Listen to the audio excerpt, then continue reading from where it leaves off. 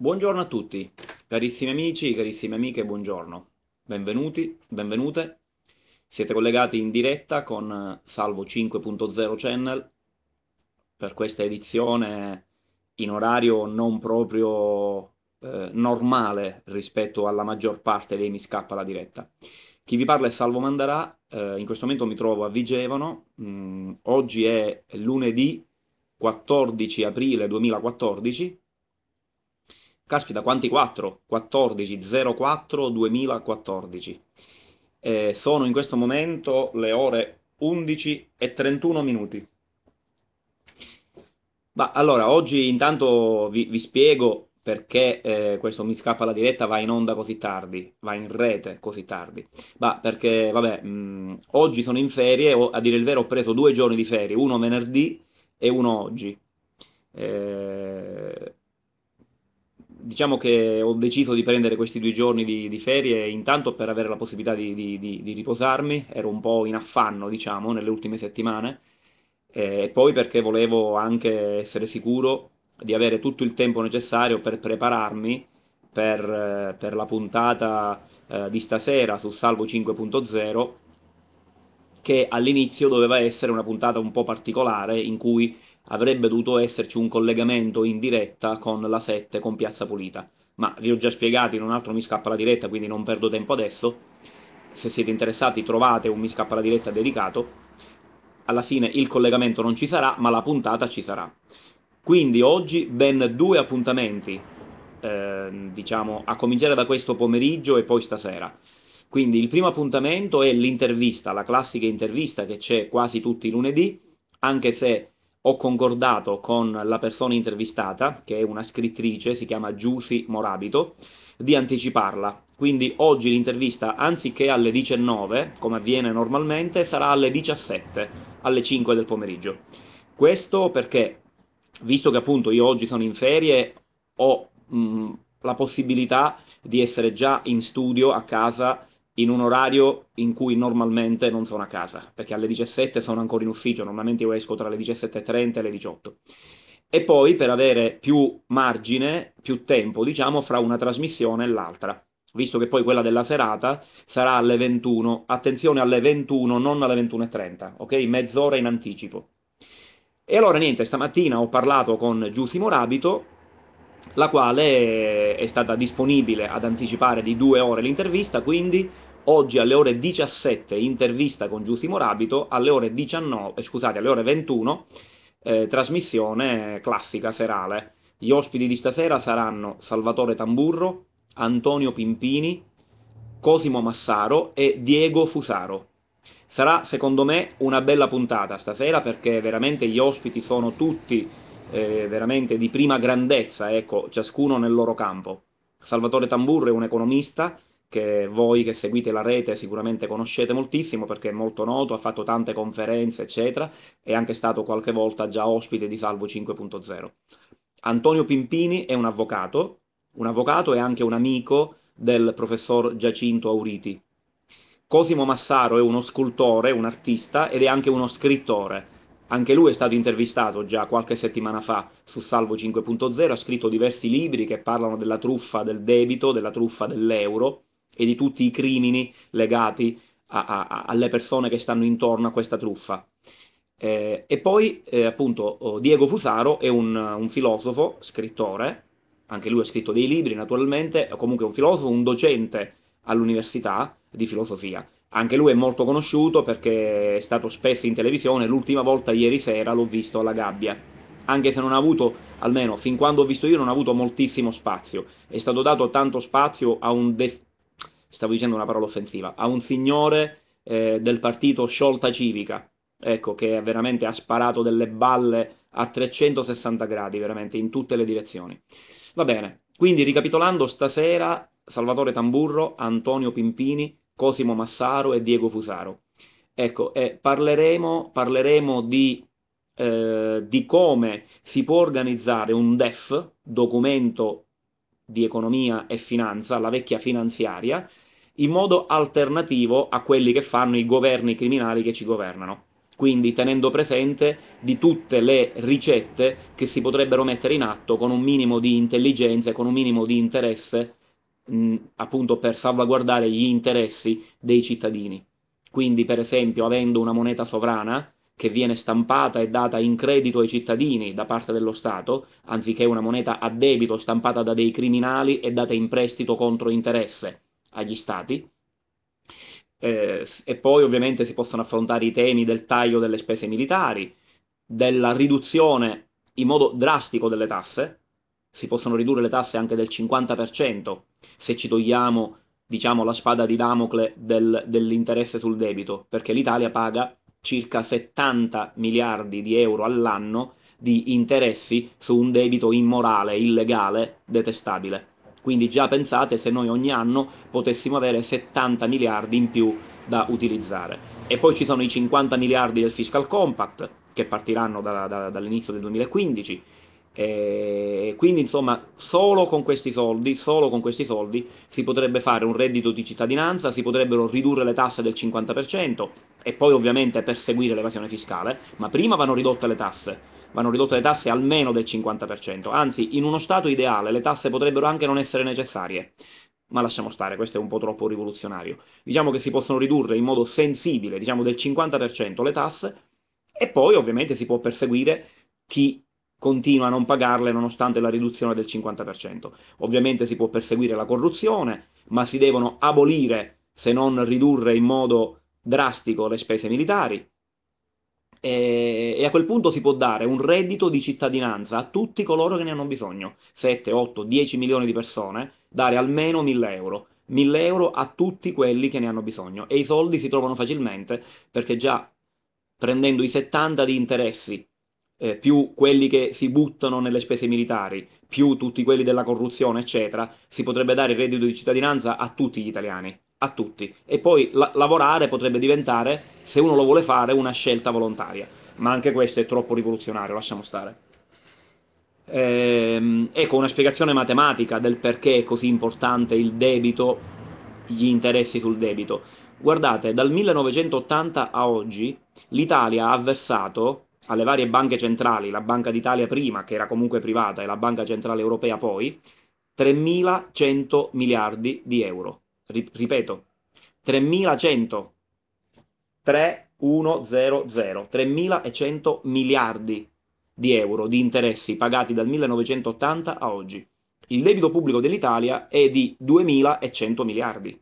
Quindi se noi non avessimo dovuto pagare gli interessi sul debito, avremmo un avanzo di 1000 miliardi, 1000 miliardi, dall'80 al 2014, al 2013. Sapete cosa vuol dire questo? Provate a pensare cosa si può fare con mille miliardi. Mille, mille miliardi in 30 anni, dall'80 al 2013. Mille miliardi in 30 anni sono veramente una grandissima paccata di soldi. Si potrebbe fare reddito di si sarebbe potuto fare reddito di cittadinanza, la banda larga, restaurare tutti no i nostri beni culturali, eh, restaurare tutte le abitazioni, pubbliche, cioè le, le, le costruzioni pubbliche, private, fare cappotti termici, eh, aumentare l'efficienza energetica e quindi risparmiare sulle spese energetiche. Si potrebbe fare ricerca e sviluppo per, per essere indipendenti energeticamente. L'Italia potrebbe essere indipendente energeticamente, non comprare petrolio, non comprare gas, non comprare nulla, andare avanti solo con le risorse rinnovabili di cui l'Italia dispone ampiamente. Insomma, un altro mondo è possibile, un altro mondo è possibile, basta solo volerlo. Ecco, stasera alle 21 parleremo di questo. Ovviamente non potremo approfondire tutti i campi che io adesso ho accennato, sarà eh, orientata più dal punto di vista economico, però ecco, diciamo che questa è la sfida che stasera vogliamo lanciare al sistema. Di queste cose avremmo voluto parlare andando in diretta a Piazza Pulita, ma Piazza Pulita, diciamo, non ha accettato di far entrare Salvo 5.0 tutto intero quindi eh, il canale con il logo, con lo studio virtuale e con gli ospiti. Avrebbe voluto fare un collegamento con delle telecamere dentro casa mia per riprendere solo me, cioè come è stato fatto la prima volta il 3 marzo. Questo è il motivo per cui il collegamento alla fine non si fa. Comunque ho parlato molto più ampiamente di questo qualche giorno fa e non mi scappa la diretta. Va bene carissimi amici, quindi questo è il quanto. Quindi io adesso oh, preparo oh, l'evento Facebook, le locandine per queste due puntate di Salvo 5.0 di oggi. Attenzione, guardate che anche l'intervista con Giussi Morabito sarà veramente una cosa stupenda, vi invito a vederla. Eh, non è una persona molto conosciuta, eh? probabilmente nessuno di voi o pochi di voi la conosceranno, Giussi Morabito. Se volete, trovate già una brevissima intervista che io ho fatto occasionalmente, avendola incontrata in una piazza di Milano durante un evento pubblico ma è una persona stupenda, veramente, una donna eccezionale. Lei è stata in Africa, è innamorata letteralmente dell'Africa e per questo ha scritto questo suo primo libro ed è questo l'argomento principale di cui parleremo oggi alle ore 17. Eh, vedrete, veramente una donna stupenda, quindi eh, vi invito oggi alle ore 17 a vedere questa intervista con Giussi Morabito e rimarrete colpiti dalla sensibilità eh, di, questa, di questa donna e poi alle 21 puntata invece in cui si parla appunto di mh, economia, di un'economia alternativa a quella che fanno i governi criminali che governano l'Italia da, da 40 anni e l'Europa da, da, da 40 anni e ancora più. Bene, mh, questo è, è, il quanto. Mh, che cosa potrei aggiungere ancora? Sì, fatemi dare un cenno su questa iniziativa con l'hashtag Ti seguo sempre. Ecco, facciamo girare questo hashtag se vi piace tutto è nato per caso. Sabato mi trovavo a Torino, alla fine della, eh, dell'incontro, dell'agorà in piazza eh, tra i cittadini ele- eletti, eh, rappresentanti, i nostri dipendenti e i cittadini elettori, eh, è arrivato un ragazzo molto simpatico, si chiama Enea, eh, che mi ha detto, ehi ciao Salvo, sei grande, eh, wow, ti seguo sempre, eccetera. Allora io, siccome non lo so, la, ho avuto la percezione che questo ti seguo sempre fosse, come capita spesso, buttato lì così, no? Perché la gente pensa che dire ti seguo sempre eh, disponga positivamente eh, la persona, eh, che in quel caso ero io, insomma, la persona interessata, eh, nei confronti di chi fa questa affermazione. Però io ho avuto il sospetto che questa cosa ti seguo sempre non fosse del tutto vero. Allora io ho cominciato a fare delle domande per capire se era vero. In effetti questo simpaticissimo amico Enea non mi aveva mai seguito, o perlomeno aveva seguito lo Tsunami Tour mh, mm, l'anno scorso, ma poi non sapeva nulla di me, del fatto che io ho un canale YouTube, che faccio le mie trasmissioni, tutti i giorni mi scappa la diretta, il mercoledì le puntate, eccetera. Allora mi sono divertito un po' a prenderlo in giro, ma bonariamente naturalmente. Infatti siamo diventati amici e secondo me è una persona veramente simpaticissima. Eh, allora veramente l'ho sfottuto per un po', c'erano anche altri amici che nel frattempo si sono avvicinati e insomma ci siamo un po' divertiti alle sue spalle, ma sempre in senso bonario, ecco, non sono il tipo che esagera, almeno spero di non aver esagerato, ma non credo perché poi appunto abbiamo fatto tante chiacchiere dopo, siamo diventati amici su Facebook, eccetera, quindi è nato veramente un, un rapporto simpatico di amicizia.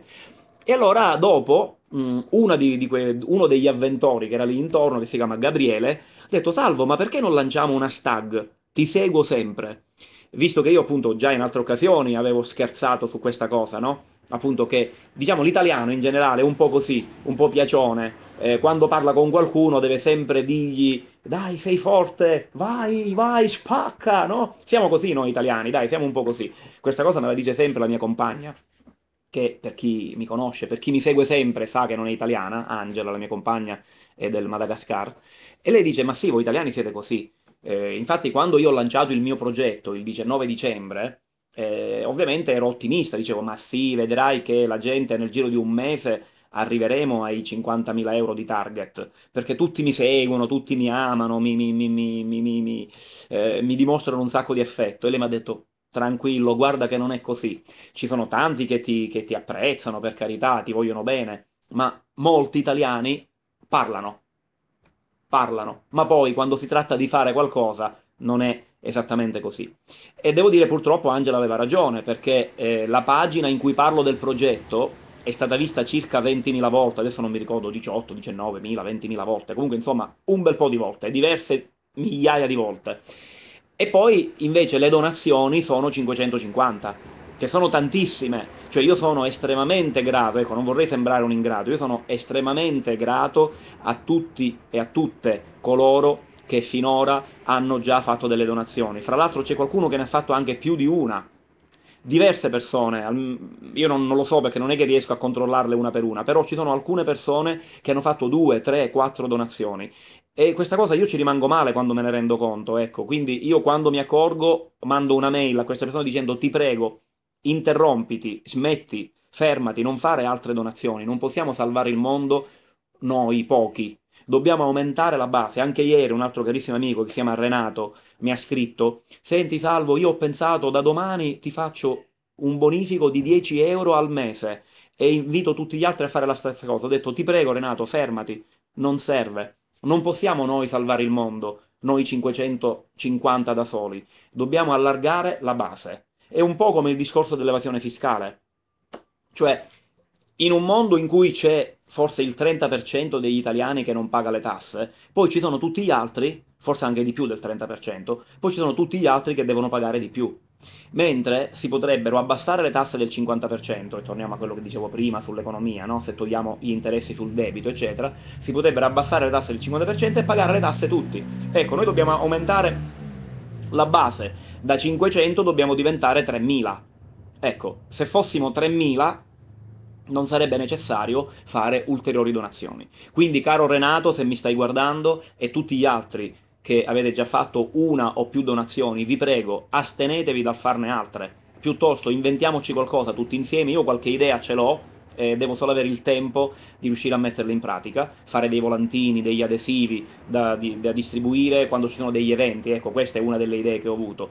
Poi ho già fatto un'intervista a proposito, eh, un paio di venerdì fa ho fatto un'intervista molto lunga di un minuto, eh, sì scusate, di un'ora e 22 minuti, un'ora e 22, un'intervista veramente lunga con la 7, una giornalista fantastica della 7 che si chiama Simona Buonomano. Allora, lei ha già fatto un servizio che parla di Salvo 5.0 l'anno scorso, è andato su TG La 7 Cronache. Ecco, se andate sul canale YouTube Salvo 5.0 e cercate fra i video TG la 7 cronache o anche solo la 7 troverete alcuni video e uno di questi è proprio TG la 7 cronache è un video che dura pochi minuti 4 minuti credo o 3 o 4 minuti ecco c'è il primo minuto in cui si parla della cosa e poi dal primo minuto in poi si parla di Salvo 5.0 e già lì avevo avuto modo di apprezzare lo stile giornalistico di Simona Buonomano. Adesso lei non lavora più a TG la 7 cronache lavora per l'aria che tira che è un programma che a me onestamente non è che mi faccia proprio impazzire, non apprezzo moltissimo quel programma, però mh, invece conoscendo già Simona come giornalista mi sono lasciato convincere a fare questa, questa intervista. Eh, praticamente dal 22 al 28 aprile, se ho capito bene, eh, ci saranno alcuni giorni in cui la trasmissione non andrà in diretta tipo talk show, ma manderà appunto delle pillole di 10 minuti Bene, in una di queste date che deve essere ancora decisa, dal 22 al 28, ci sarà appunto la mia intervista che andrà in onda su, uh, all'interno dell'aria che tira e sarà un estratto di 10 minuti. Ecco, 10 minuti, non tutta un'ora e 23, 22. Eh, però considerate 10 minuti sono veramente un'eternità per i tempi televisivi, eh? non è poco un, un'intervista montata di 10 minuti. Bene, proprio stamattina Simona mi ha dato la conferma che il suo pezzo finale di 10 minuti, eh, del quale mi aveva più o meno detto quali erano i pezzi che aveva montato, eccetera, ehm, sono stati apprezzati moltissimo dalla redazione, dalla, dalla conduttrice del programma, la signora Merlino, e quindi insomma il suo pezzo è già pronto, congelato, per essere mandato in onda appunto in una data da definirsi tra il 22 e il 28 aprile un'ora e trenta dopo che sarà andata in onda l'intervista montata di 10 minuti di Simona, io avrò la possibilità di pubblicare sul mio canale l'intervista integrale, che ovviamente ho registrato quando abbiamo fatto l'intervista. Io, anzi, vi dico una cosa, io l'ho già messa sul tubo, quell'intervista, però in questo momento è non visibile, quindi può vederla solo chi ha il link. Infatti, i miei parenti l'hanno già vista e anch'io l'ho guardata un po' di volte. Bene, quindi un'ora e mezza dopo che sarà andata in onda l'intervista sulla 7, tagliata, un, un montaggio di 10 minuti, io potrò, per contratto firmato tra le parti, cioè tra me e la 7, lo studio legale della 7, potrò divulgare l'intera registrazione integrale. Ecco, per esempio, questa intervista è un'altra cosa che mi auguro aiuti il progetto Salvo 5.0, visto che que- durante l'intervista ne parliamo in modo molto approfondito. Ovviamente nel montato di 10 minuti probabilmente qualcosa non ci sarà, ma eh, comunque ci saranno ampi stralci, anche perché questo era un patto fatto con la giornalista, con Simona, della quale mi fido ciecamente, quindi all'interno dei 10 minuti ci saranno almeno 3 o 4 minuti, forse anche 5, in cui si parlerà in modo approfondito del progetto. Quindi immagino che quello sia un modo sicuramente per far sapere dell'esistenza di questo progetto. Alla fine 550 donazioni sono tantissime, se penso che ci sono circa 500 persone che hanno già fatto una donazione, è una roba da andare, eh, da svolazzare dalla felicità. Ma se pensiamo che in Italia siamo 60 milioni, che gli attivisti del Movimento 5 Stelle, che immagino compongono il 90% delle persone che mi conoscono, sono comunque centinaia di migliaia, dico, caspita, 500 siamo veramente pochi, cioè arrivare a 2 o 3 mila dovrebbe essere proprio una cosa così. Ecco, Ovviamente gli italiani siamo così, che eh, dicono ti seguo sempre e poi però quando c'è da fare qualcosa di concreto siamo calmi, siamo molto calmi. Va bene, allora fatemi leggere un po' la chat e poi vi lascio perché devo fare. Allora, devo, oggi stamattina, caspita, è già mezzogiorno, fra poco arriva Angela, dobbiamo pranzare e poi mi devo preparare per quello, le cose che devo fare nel pomeriggio, ma devo ancora fare la locandina dell'intervista con, eh, con Giusy, la locandina della puntata serale, l'evento Facebook, aprire i due video su YouTube in modo da divulgare i link, divulgare tutto quanto. Queste sono le cose più urgenti. Poi devo continuare la lettura di un libro. Ecco, io sto leggendo un libro che parla del nostro Presidente della Repubblica innominabile, Giorgio Napolitano, che già quando tu alla Camera al Senato lo nomini succede già un, un putiferio. Ecco, sto leggendo questo libro eh, perché Ve lo dico dopo perché. Sto leggendo un libro, perché la lettura di questo libro, diciamo, è l'atto preliminare per fare una cosa che, eh, che ha a che fare con questo libro. Vi dirò più avanti cosa devo fare. Eh, insomma, queste sono alcune delle cose che devo fare oggi. Poi ho anche alcune cose di, di, di tipo burocratico da, da gestire. Eh, un paio di queste anche molto importanti che riguardano, diciamo, la mia vita privata. Eh, quindi insomma ho veramente tante cose da fare, oggi mi sono alzato tardi perché eh, sabato sera, eh, dopo, dopo, la serata a Nichelino, eh, sono rimasto in giro fino alle 3 abbondanti, sono arrivato a casa che erano le 3.10, le 3 e un quarto, perché dopo, lì, dopo che è finito l'evento, gli amici locali, Fulvio Favate e tutti gli altri, dai Salvo andiamo a berci una birra, insomma alla fine sono partito da lì che erano quasi le 2 e sono arrivato a casa che erano le 3 abbondanti, quindi avevo un po' di ore di sonno da recuperare, ieri pomeriggio ne ho recuperata qualcuna, ma stanotte ho fatto il resto, quindi è andato a letto non tardi, eh, non ho neanche finito di vedere la gabbia, insomma, dopo il servizio stupendo, ecco, questo bisogna dare atto a, a Paragone, ha mandato un servizio dove parla ancora una volta delle privatizzazioni, del titolo quinto, eccetera, grande, mi piace molto quel giornalista lì, non ricordo il nome, però quel giornalista lì di, di Paragone mi piace veramente tantissimo quello che ha fatto quel servizio lì, ecco, dopo quel servizio lì ho assistito ancora pochi minuti alle cose che diceva Diego Fusaro, Claudio Borghi, eccetera, poi la prima volta che hanno inquadrato quella faccia lì di quel signore di sciolta civica, ho spento il televisore e sono andato a letto. E stamattina mi sono alzato alle 10 abbondanti. Va bene, leggiamo la chat e poi vi saluto. Allora, allora, allora, saluti. Ciao Salvo, ci sarò. Un governo sovrano può creare tutti i soldi che ha bisogno senza tassare. Appunto, bravo Domenico. Noi stiamo aspettando che lavoriamo nei centri commerciali, che qualcuno acco Ciao Salvo, sono Gabriele del Mi scappa la diretta flash di Piazza Castello. Ehi, ciao Gabriele, eccolo. Ecco, Petrucci83, è lui, eh? È lui il Gabriele che mi ha dato l'idea di lanciare l'hashtag Ti seguo sempre. Ivan99, di regolamentare le aperture festivi che sono diventate una vergogna, siamo ape. Al... Allora, questa è la seconda parte del messaggio di Ivan. Quindi noi stiamo aspettando che lavoriamo nei centri commerciali, che qualcuno acco di regolamentare, accolga forse la proposta di regolamentare le aperture festivi, che sono diventate una vergogna. Sono d'accordo, Ivan. Guarda, se ti interessa questo argomento, sul canale Salvo 5.0 trovi un'intervista che ho fatto l'anno scorso durante lo Tsunami Tour alla D'Andrea com'è che si chiama di nome? Di cognome D'Andrea sicuramente, di cognome non mi ricordo in questo momento. Comunque una ragazza che lavora o lavorava, era anzi un, un'imprenditrice, eh, che appunto aveva problemi proprio per questo discorso oh, no domenica. Ecco, eh, quindi se tu cerchi D'Andrea all'interno dei video di Salvo 5.0 troverai questa intervista dove si parla proprio di questo argomento. Non ci posso credere, ti ho beccato in diretta, che bello, dice Luciano Corradino. Eh, addirittura, eh, ci siamo beccati. Buongiorno, salvo e a tutti. Bene, ci farai sapere, dice Vito Chiarello. Poi Gabriele, Gabriele Ricca, il video di, sab di sabato è venuto di soli 20 secondi. Come di soli 20 secondi, Gabriele? Fammi controllare, aspetta che ho già il computer acceso. di 20 secondi. Caspita, non me ne sono accorto. Fammi vedere quanto dura. No, dura un minuto e 34. No, Gabriele, guarda che dura un minuto e 34. Ti prego di andare a controllare. Silvia Baldino. Eh, Silvia, ciao. Silvia è una mia amica di Vigevano.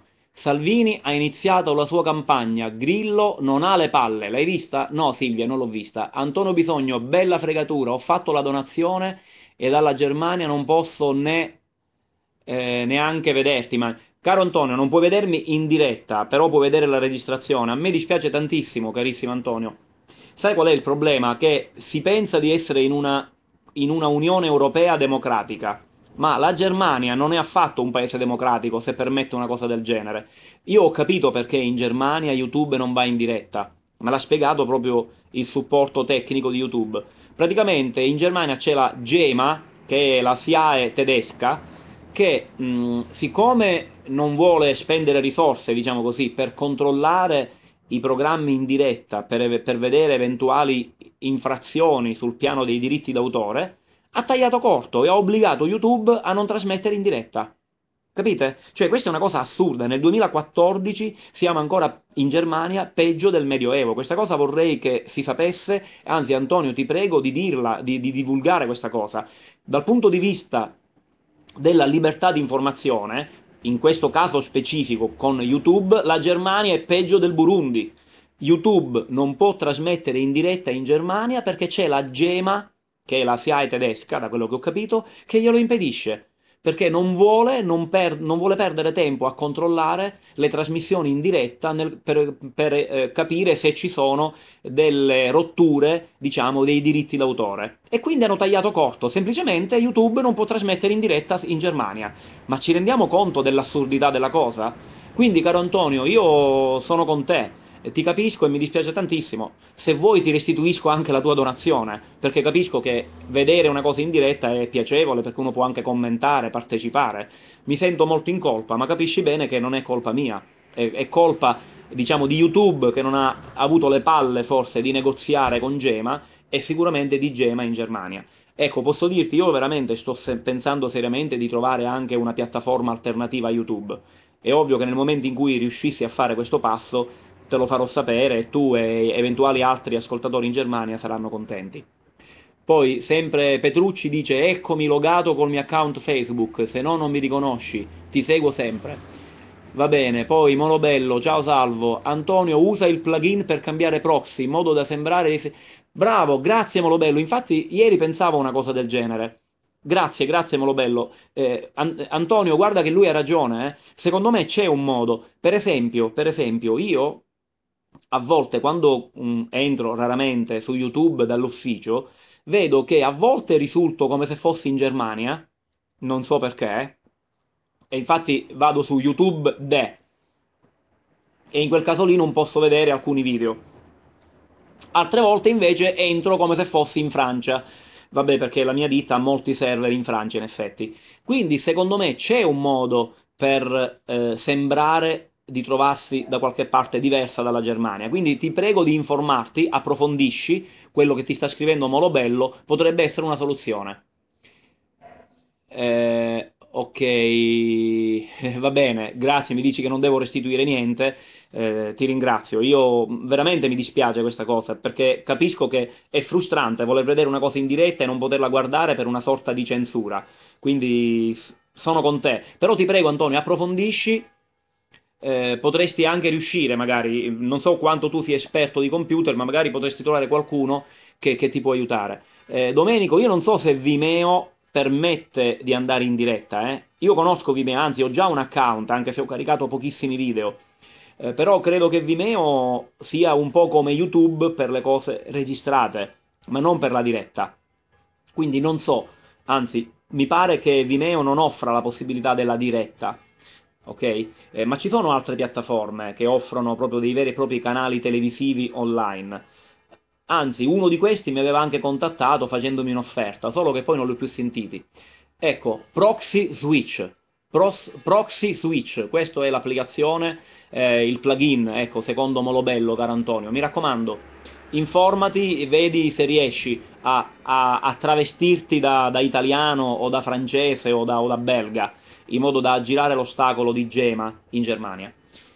Va bene, carissimi amici, io allora vi saluto, mh, mm, auguro a tutti voi una stupenda giornata, un ottimo lunedì, un buon inizio settimana, quindi vi ricordo ancora una volta, ci vediamo alle ore 17 per chi di voi non è in Germania. Antonio, subito dopo, alle 18 potrai guardare la registrazione eh, dell'intervista che farò con Giusimo Rapito e poi alle 21 altra diretta e tu Antonio la potrai guardare eh, dopo, diciamo dalle 23, 23.30 in poi, oppure domani o quando vorrai tu con calma, altra trasmissione di economia in cui presenteremo un DEF alternativo. Gli ospiti saranno Salvatore Tamburro, Antonio Pimpini, Cosimo Massaro e Diego Fusaro. Va bene, carissimi amici, io vi ringrazio di avermi seguito, oh, ringrazio tutti voi per i vostri commenti, saluto ancora una volta uno per uno e una per una tutti voi e tutte voi un abbraccio affettuoso e ci vediamo nel pomeriggio alle 17 e stasera alle 21. Buona giornata a tutti, grazie. Ciao.